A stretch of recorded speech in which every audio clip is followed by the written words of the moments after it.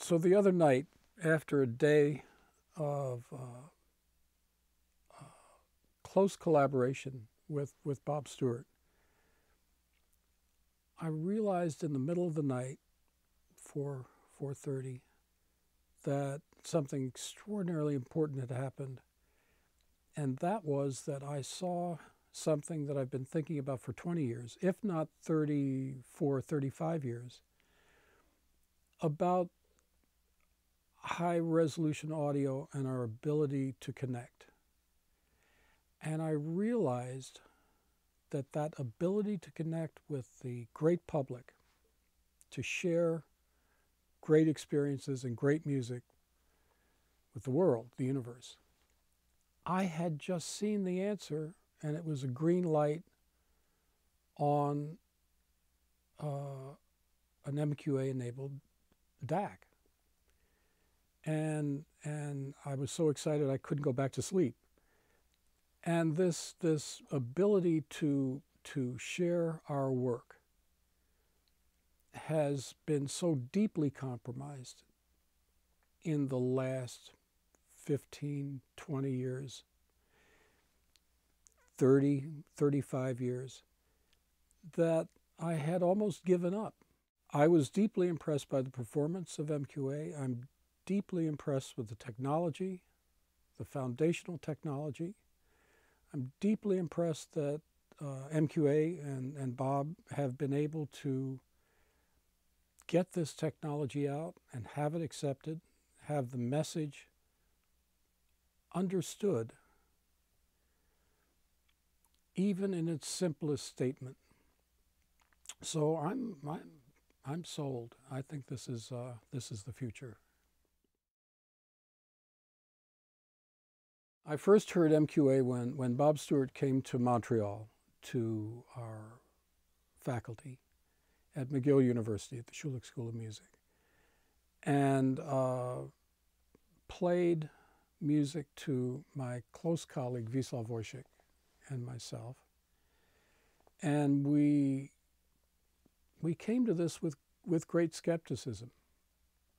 And I think we reserved scientific skepticism. But as, as uh, musicians and as listeners, we were immediately impressed by the technology, and as the day wore on, more and more impressed with the sound and the feeling of getting back to listening to real music. At that time, we listened to some recordings that, that, that I had made uh, in, in Nashville. And uh, I heard some things that, uh, I've been playing these in presentation for some years, I heard some things that I hadn't heard since the original sessions and, and may never have heard. I want to hear it all. I want to hear musicians play out of tune. I want to hear um, uh, the music in the room as it was performed in the room. I think that that's my job as I perceive it is transparency to uh, artist intent. Actually, artist expression, whether they intended or not. I want to hear detail. And I did, and continue to be uh, thrilled with, uh, with what I'm hearing. On the recordings that I've, I've learned to remember and, and, and love and refer to it, there is uh, a complexity, an ambiguity in playback, often an ambiguity in playback, where I will, over months, years of listening to a, a really great, a worthwhile recording, I'll hear something slightly different every time. And that, that I think is indicative of great detail. And uh, it happened most often on vinyl, listening to orchestral vinyl. Uh, and I'd kind of given up. In fact, I've kind of, for the past seven years, I'd given up on doing any more recording because it, it seemed to be pointless. So um, this gives me a reason to go back in the studio. MQA will have a tremendous impact on the music industry. What that impact could be is uh, unimaginable.